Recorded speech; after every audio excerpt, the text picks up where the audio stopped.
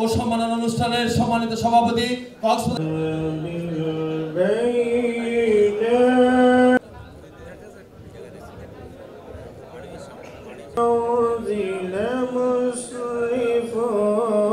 না, দ্রব্যমূল্য বৃদ্ধির ব্যাপারে বিএনপি তো আজকে দুই বছর ধরে বলে আসতেছে।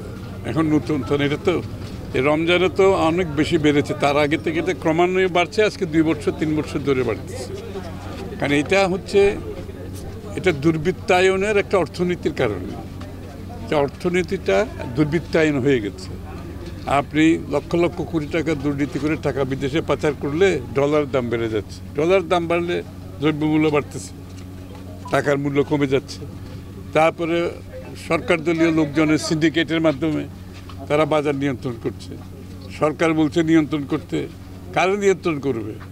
নিজেদের লোক বাজার সিন্ডিকেট করে ওরাই বাজার নিয়ন্ত্রণ করতেছে। সরকারের কথা ওরা শুনবে কেন? ওরা তো তাদের নিজেরাই লোক।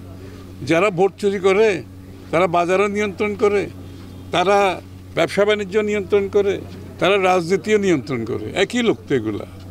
তো দ্রব্যমূল্য তো কমানোর কোনো সুযোগ নাই, এরকম একটা প্রেক্ষাপটে কোনো সুযোগ নাই। তারপরে রাস্তাঘাটে চাঁদাবাজি। প্রত্যেক দিন চাঁদাবাজি, উঠতে, বসতে চাঁদাবাজি। তো এই চাঁদাবাজির দাম তো জনগণকে জনগণকে দিতে হচ্ছে মূল্য, তাই না? আর যে হারে চাঁদাবাজি হয়, একটা ট্রাক যখন আসে, দশ জায়গায় চাঁদা দিয়ে দিয়ে আসতে হয়। সুতরাং এটার মূল্য তো জনগণকে দিতেই হবে, তাই না? আর যেখানে জনগণের নির্বাচিত সরকার থাকবে না একটা অবৈধ, অনির্বাচিত সরকার ক্ষমতা দখল করে দেশ চালনা, পরিচালনা করবে, সেখানে তো কোনো কিছু নিয়ন্ত্রণ থাকার কোনো কারণ নাই। কারণ এখানে সুবিধাভোগীরাই কিন্তু এই শক্তির সাথে জড়িত হয়ে গেছে। এইখানে এদেরকে ক্ষমতায় নিয়ে যাওয়ার জন্য, ক্ষমতায় রাখার জন্য যে সুবিধাবাদী গ্রুপ সৃষ্টি হয়েছে, যে রিজিম সৃষ্টি হয়েছে তারা দেশের রাজনীতিও তারা করে ব্যবসাও তারা করে, তারপরে আপনার এই বাজারও তারা নিয়ন্ত্রণ করে, দুর্নীতিও তারা করছে, বিদেশে তারাই টাকা পাচার করছে।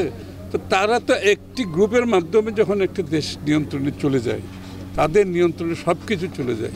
দ্রব্যমূল্য নিয়ন্ত্রণ করবে কে? করার তো কোনো সুযোগ নেই। যতদিন এরকম অবৈধ দখলদার সরকারকে বিদায় করতে না পারবে অনির্বাচিত সরকারকে বিদায় দিয়ে জনগণের নির্বাচিত সরকার আসবে, যারা জনগণের কাছে দায়বদ্ধ থাকবে, যারা জনগণের কাছে জবাবদিহি থাকবে, ততদিন দ্রব্যমূল্য কমার কোনো সুযোগ নেই। এই যে আমাদের, আমরা কেন নির্বাচন বর্জন করেছি, এটা তো প্রতিবাদ। এবং আমরা যে নির্বাচন বর্জনের ডাক দিয়েছি, বাংলাদেশের পঁচানব্বই শতাংশ মানুষ সারা দিয়ে নির্বাচন কেন্দ্রে যায় নাই, সেটাই তো তাদের সমর্থন। তারা নির্বাচন কেন্দ্রে না গিয়ে আমাদের ডাকে সারা দিয়েছে, বাংলাদেশের মানুষ সারা দিয়েছে। যাদের ভাতা কেড়ে নেওয়ার কথা বলেছে গরিব মানুষ, যাদের কার্ড নিয়ে গেছে, যাদেরকে পুলিশ ভয় দেখিয়েছে আওয়ামী সন্ত্রাসীরা ভয় দেখিয়েছে, তারপরেও এই লোকগুলো ভোট কেন্দ্রে যায়নি। সেটা বিএনপির আন্দোলনের সফলতা, এটাই আমরা আজকে চাচ্ছি বাংলাদেশের জনগণকে নিয়ে এই অবৈধ দখলদার সরকারকে বিতাড়িত না করা পর্যন্ত। জনগণ যেমন তার রাজনৈতিক, গণতান্ত্রিক, সাংবিধানিক অধিকার ফিরে পাবে না, সাথে সাথে তার জীবনযাত্রার মানে আজকে যেভাবে আঘাতপ্রাপ্ত হয়েছে, সেখান থেকে দ্রব্যমূল্য সহ এই এই কঠিন অবস্থা থেকে বের হওয়া আসার আর কোনো সুযোগ নেই।